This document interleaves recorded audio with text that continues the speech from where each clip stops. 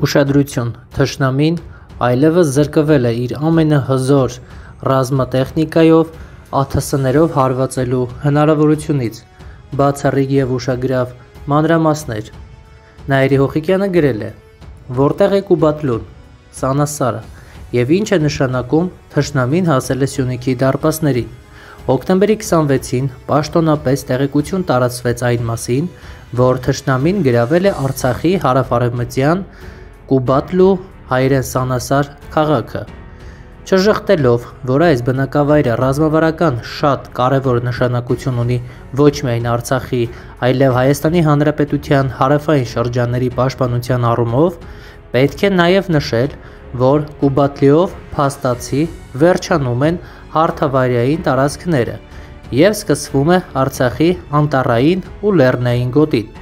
Թշնամին այլևս չի կարող լայնամասշտաբ կիրառել հարվածային ԱԹՍ-ներ կամ ծանր զրահատեխնիկա, ստիպված լինելով գործի մեջ դնել իր դիվերսիոն խմբերին։ Դրանք արդեն երկու օր ներթափանցում են մեր դիրքեր, բայց պայմանական 100 դիվերսանտից 10-ն է կարողանում հետ փախչել։ Եթե հիշում եք, հոկտեմբերի կեսին գրել էի, որ մենք մտնում ենք մաշող պատերազմի փուլ։ Հիմա հենց այդ փուլում ենք ում զորքը ավելի շուտ մաշեց իր մարտական ոգին, նա էլ կպարտվի։ Իսկ որտեղ են Սյունիքի դարպասները։ Շատերի համար այս արտահայտությունը գրեթե խոճապի առիթ է դարձել այդ տարածքը սխալմամբ նույնացնելով հայտնի զանգերի հետ։ Ոչ, հարգելի հերինակիցներ, Սյունիքի դարպասները Կովսականից Զանգիլան, մի փոքր վերև է եւ մոտ է Կապանին։ Ընդհանուր առմամբ Սյունիքի մարզի եւ Արցախի հարավային հատվածի միացման վայրը, բայց այդ դեպքում Եվս խոսքը ոչ թե թշնամու զորքի, այլ զուտ դիվերսիոն խմբերի մասին է, որոնք կանոնավոր կերպով փաստացի ոչնչացվում են։ Չափազանց կարևոր մեկ այլ թեմայի մասին։ Վերջին 2-3 օրերին համացանցում տարածվում են տարբեր տեսանյութեր մարտական ծառայություն իրականացնող հայկական կողմի կամավորականների կամ զորակոչված պահեստազորի որոշ խնդիրների մասին։ Խնդիր. Արցախի մի տարածքում սեփական մաշկի վրա զգացած լինելով այդ խնդիրներից որոշները պետք է շեշտեմ, որ պատերազմական իրավիճակում բոլոր տեսակի անհարմարությունները օբյեկտիվ են։ Իհարկե, ինչպես ամեն ոլորտում, բանակում եւս կարող են լինել անկարգապահ մարդիկ։ Երբեմն կարող է սնունդը ուշանալ։ Մեքենաները, որոնք դիրքեր են տանում սնունդ եւ այլ անհրաժեշտ պարագաներ, հաճախ ենթարկվում են թշնամու անօթաչու թռչող սարքերի հարցակումների։ Հետևաբար հաճախ այդ ուշացումները կարող են նաև օբյեկտիվ լինել։ Դա չի նշանակում, որ պետք է արդարացնել նաև որոշ դեպքերում 1-2 պատասխանատուի անգործությունը։ Սակայն եթե ականատես եք լինում արտասովոր երևույթի, ապա դա նկարելով եւ հրապարակելով ինտերնետում երկու առումով վնասում եք հայկական պետությանը։ Առաջին. Նախ թշնամին տեսնում է տեղանքը եւ զորքի այս կամ այն ջոկատի բարոյահոգեբանական վիճակը, ըստ այդմ որոշելով իր ռազմական հետագա քայլերը։ Երկրորդ, թիկունքում մարդկանց մոտ սխալ տպավորություն է ստեղծվում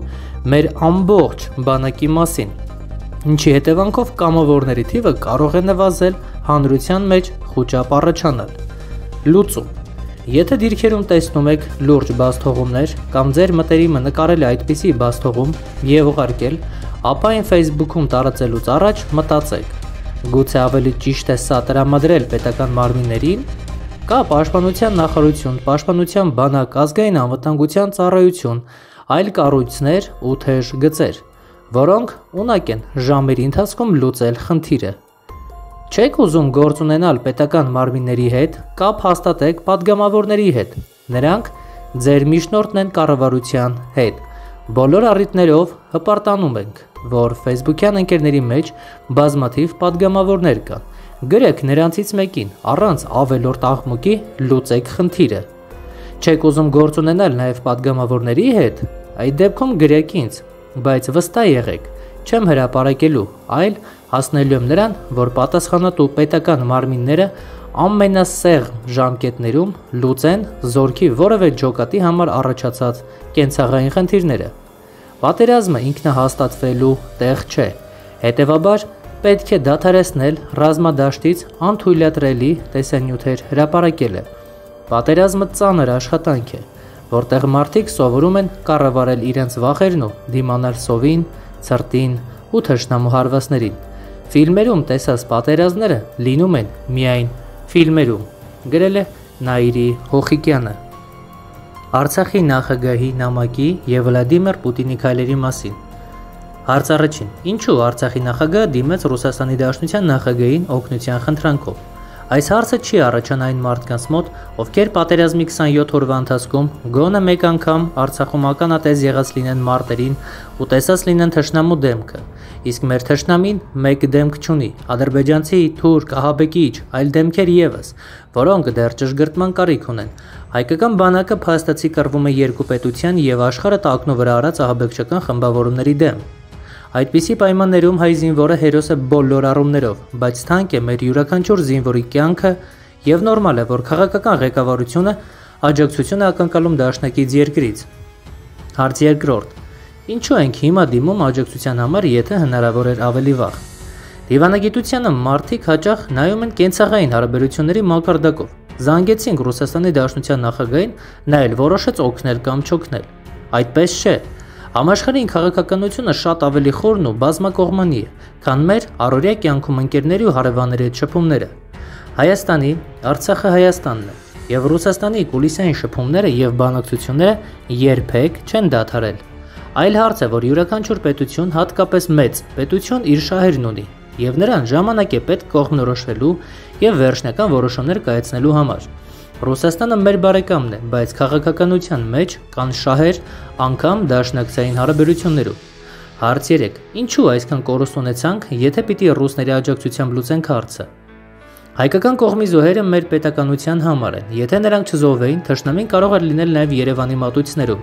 Ոչ մի բարեկամ երկիր մեզնից ավելի շատ չի մտահոգվում մեզ համար։ Հետևաբար հայ զինվորը սահմանին կանգնած է մեզ համար, հայ ժողովրդի համար։ Վաղը, եթե օրինակ խաղաղապահներ անգամ գան կրկին Հայաստանն է լինելու եւ հայ զինվորն է լինելու մեր երկրի անվտանգության երաշխավորը հարց 4 երբ կգան խաղաղապահները կամ ռուսական աջակցությունը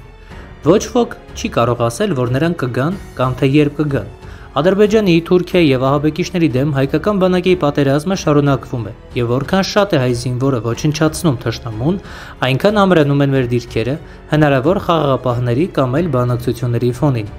Ռուս խաղաղապահների գալ չգալու մասին որոշումը կարող է կայացվել շաբաթների, ընդհուպ ամիսների ընթացքում, Հետևաբար մենք պետք է կարողանանք հնարավորինս ամուր պահել մեր սահմանները, ազատագրել այն հատվածները, որտեղ հիմա ներխուժել է թշնամին։ Գրել է Նայիրի Հոխիկյանը